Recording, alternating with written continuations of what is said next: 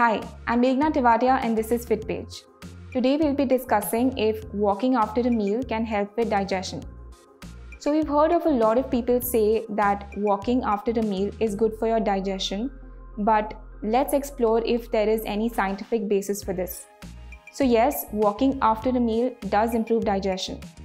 Now let me introduce a scientific term here called gastric emptying. Gastric emptying is the time that food takes to leave your stomach and enter the small intestine. So walking has been suggested to reduce gastric emptying time when compared to having beverages such as alcohol and caffeine after a meal. Walking has also been shown to improve bowel function and reduce the chances of constipation. Studies have also shown that walking after a meal can lower the chances of developing symptoms such as bloating, gas, cramps, or acid reflux.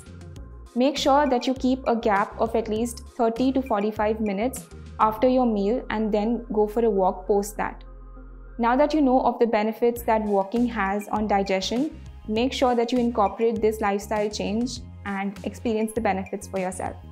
If you like this video, please don't forget to give it a like, share, comment and subscribe and do not forget to log in to fitpage.in for more articles, videos and podcasts.